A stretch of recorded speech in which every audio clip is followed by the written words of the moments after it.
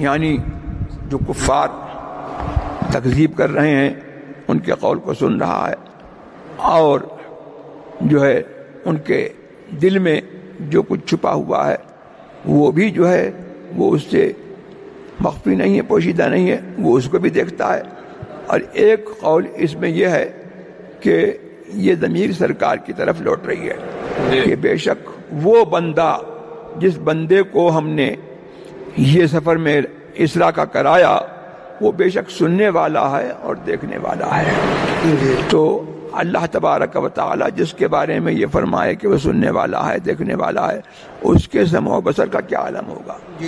और वहाँ भी जो है ये लेते हैं कि अब्दहू कि हुजूर सरवर आलम सल्लल्लाहु तबारक व ताली वसल्लम अल्लाह के बंदे हैं बेशक अल्लाह के बंदे हैं।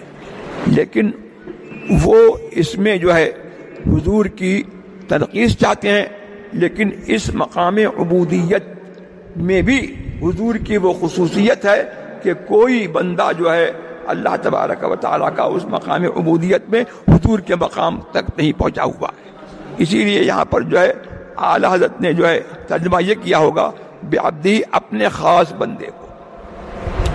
हाँ यहाँ चूँकि यहाँ इजाफत जो है वो तखसीस के लिए होती है तो यहाँ पर आला हज़रत ने जहाँ जहाँ अब्दी का या अब्दिना का लफ्ज़ आया है वहाँ तर्जमा आलत ने यही किया है कि हमारा ख़ास बंदा और अपने ख़ास बंदे को यहाँ पर यह तर्जमा किया होगा। तो हजूर का मकाम अबूदियत भी जो है, वो बहुत बुलंद है।